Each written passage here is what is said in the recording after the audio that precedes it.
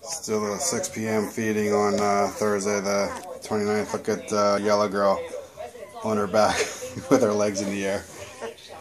Is that hysterical? You think she might end up being a diva?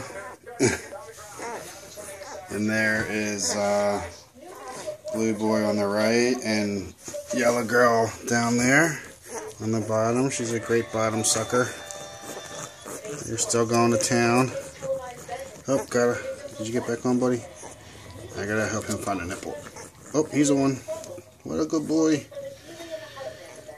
They're just the cutest puppies.